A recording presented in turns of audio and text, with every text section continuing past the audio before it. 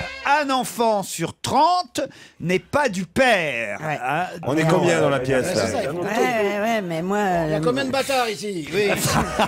D'où l'expression maman sûre, papa peut-être. Voilà, exactement. C'est ma mère qui me l'a dit, je dois peut-être m'inquiéter. On n'a pas le droit de faire les tests ADN en France. Il faut envoyer sa salive à l'étranger. Il faut cracher fort. Hein.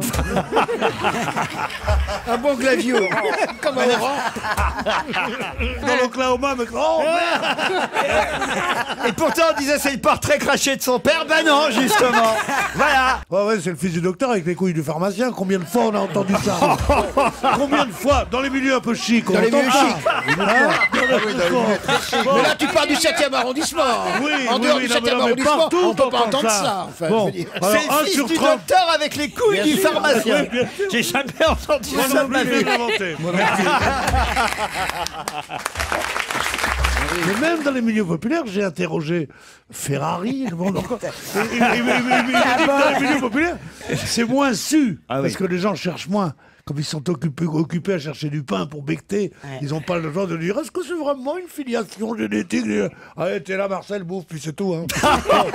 tu comprends? Eh bien, là, c'est bon. Oh, la, la vision Le des milieux modestes par Pierre Bénichou. Bien sûr. bon. Moi, vous pensez par exemple, qui vient d'un milieu modeste, Oui. Pierre, pensez que sur les cinq enfants que nous sommes de Raymond et, et Et Roger, Roger, Raymond et Roger, oui. n'est plus là et Raymond, elle, elle, elle écoute pas. Alors, vous pouvez y Oh, aller. Raymond, elle a bien une tête de salope.